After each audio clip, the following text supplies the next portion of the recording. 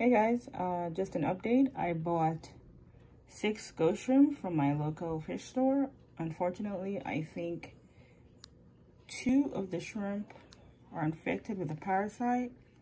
I googled it and it stated that this is horsehair worms. I checked some of the posts and there's really no definitive way of treating it. A few of the posts suggest that I euthanize the shrimp using clove oil. I've ordered the clove oil and it'll be here in two days.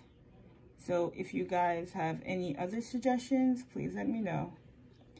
But so far, I think I'm just going to go with that method and euthanize these two little guys and um, keep an eye on the other four that are currently in my tank.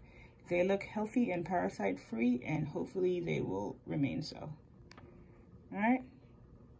Guys for watching.